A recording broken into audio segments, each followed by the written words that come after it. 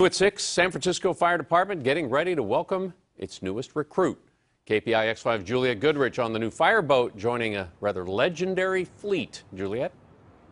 Yeah, voila. You know, Alan, they really wanted to keep this on the down low. They're going to be unveiling and having a christening in October, but our sources told us it arrived this weekend, and hey, you know, it's pretty easy to spot, too. Something new in the Bay water It looked new and it was like shiny. has caught the attention of many. The fact that it was a, a fireboat, something different they have they have never seen. The 88 foot long red and white two story vessel equipped with water cannons and fire apparatus will soon join the fire department's two other fireboats, the Phoenix and Guardian, on the bay. This really caught your eye this morning. Oh, yeah. San Francisco native Charles Love stopped to admire it. I thought maybe it was a loaner from someplace else, but it said San Francisco fireboat, and I was, we don't have that fireboat here.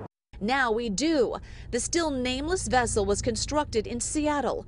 A port security grant covered a majority of the $11.8 million to pay for the fireboat. But its purpose and function life saving.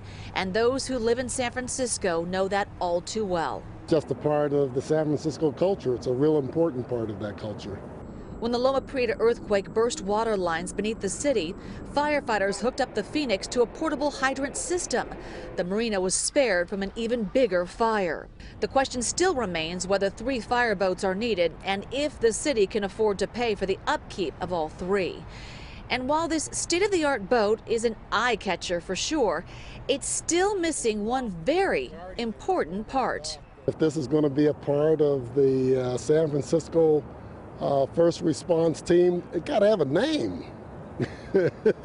Could be fish, or something. All right, so how about a name? I don't think it's going to be Fish. However, they did leave it up to all of the kids in the private and public schools in San Francisco to come up with a name. So they've all put a name kind of into a big hat, and it'll be up to the commission, the police chief, and the boat commission to decide a name. And I have a feeling it'll be decided come October when it's finally christened. In San Francisco, I'm Juliette Goodrich, KPIX 5. Somebody's going to call it Nemo, I know. The exact date of the christening hadn't been set. Looks like sometime in October, and we'll be sure uh, to cover it when it happens.